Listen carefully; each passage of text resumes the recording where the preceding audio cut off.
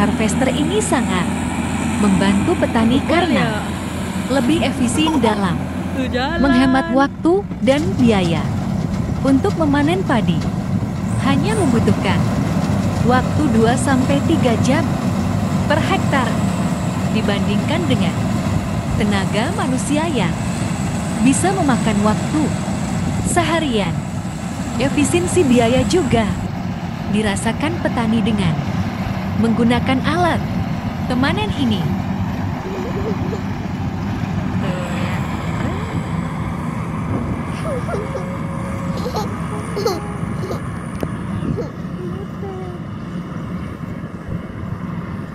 Ada uangnya jatuh.